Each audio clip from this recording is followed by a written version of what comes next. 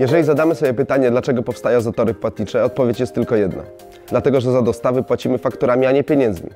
Przez to powstają problemy z płynnością, ze stabilnym dostępem do środków pieniężnych. Ale czy faktura może stać się realnym środkiem pieniężnym? Oczywiście, że może. Wystarczy użyć faktoringu i fakturę zamienić na żywe pieniądze. Nie czekam, nie kombinuję, nie szukam. Mam pieniądze na rozwój, dalej kupuję i płacę swoje zobowiązania na czas. Przez to zapewniam firmie stabilność i bezpieczeństwo. Mogę się rozwijać bez żadnych barier, bez względu na koniunkturę gospodarczą.